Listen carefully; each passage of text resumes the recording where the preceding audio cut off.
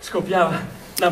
Sarà dedicato al settantesimo anniversario dell'inizio della seconda guerra mondiale la quinta edizione del Festival dei Legami organizzato dal direttore artistico Edoardo Oliva in programma dal 13 gennaio a Pescara. Si parte con lo spettacolo di Simone Cristicchi, direttore del TSA Li Romani in Russia, in ricordo della tragica campagna russa che vide morire migliaia di soldati italiani. Eccezionalmente lo spettacolo si terrà all'Auditorium Flaiano, tutti gli altri alla Sala Petruzzi. Per Edoardo Oliva, reduce dal bel da successo, successo della trilogia Destini e Destinazioni, nel suggestivo scenario del bagno borbonico, un altro interessante percorso nel teatro di qualità, grazie anche alla collaborazione con il Museo delle Genti e al sostegno dell'assessore alla cultura del Comune di Pescara Giovanni Di Jacopo. E questo sarà l'inizio, la prima tappa di una, di una rassegna che si concluderà alla fine di marzo, che avrà altri spettacoli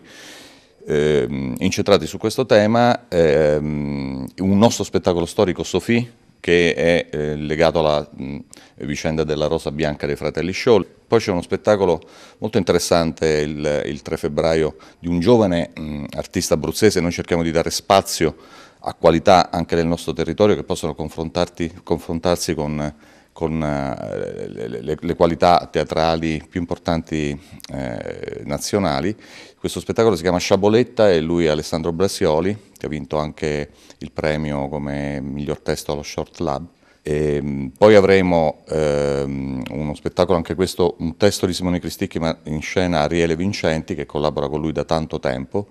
un attore anche questo romano, lo spettacolo è Le Marocchinate, ed è legato a quelle mh, mm, terribili vicende di stupri, violenze